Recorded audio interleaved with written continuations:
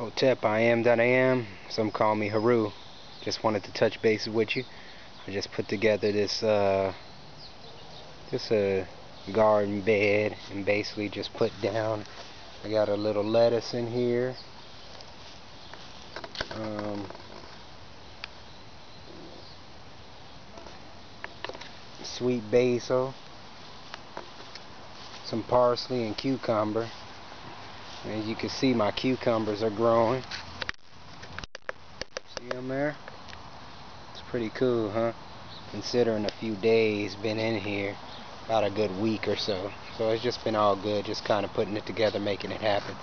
But until next time, I'll get up with you. Much love, peace, and happiness. Hotep.